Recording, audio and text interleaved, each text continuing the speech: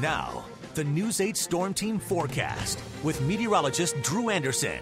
Turn back the clock to Wednesday when we had a high of 62 degrees and some rain. We're still feeling the effects from the rain, particularly in Harrisburg and Marietta. We're monitoring the river there, and it's very near flood stage, but it's cresting right now. So just be aware of that if you're heading anywhere near the river and really by the water.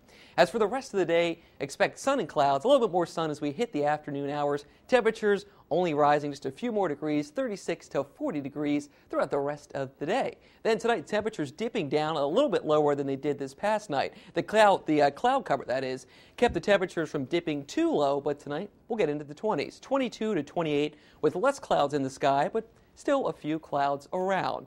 And then tomorrow we'll have some clouds coming in throughout the day, so we'll call it increasing clouds. Temperatures pretty much the same. 38 to 42, but it'll feel colder out there when you factor in the wind coming in from the northwest, pulling in some of that colder air. It picks up tomorrow at 10 to 20 miles an hour. Right now, it is a cold 37 degrees because even just with a light wind from the west at 8 miles an hour, it feels below freezing outside.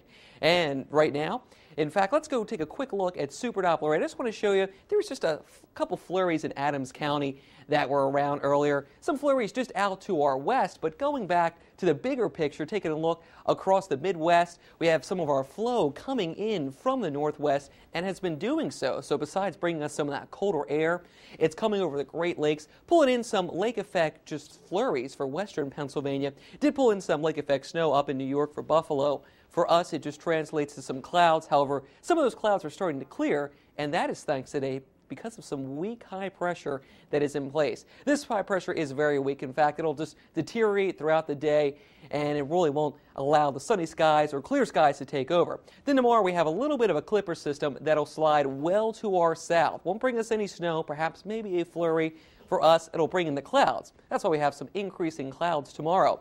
Well, we'll continue with that air coming in from the northwest, so in comes the cold air, turning a bit more breezy on Saturday. The winds even pick up on Sunday. Winds from the northwest at 15 to 25 miles an hour, so it will feel very cold out there because our temperatures only in the upper 30s on Sunday.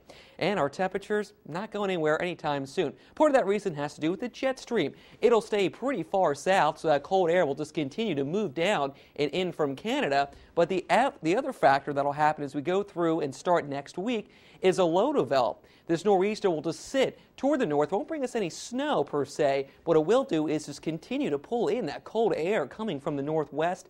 And what it will also do is keep us very windy. So the winds picking up by the end of the weekend and in the seven day forecast, the winds will be sticking around as that low sticks around. Also, too, that low will keep us cloudy as a flow continues to come in from the northwest. So expect windy conditions, expected to be cold because temperatures only in the 30s. So the wind chill being a factor, factor that into some cloudy skies too from Sunday through Thursday.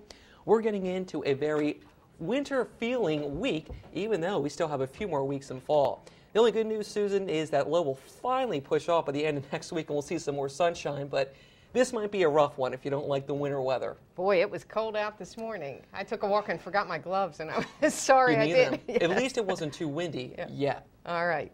That's to come. Thank you, Drew.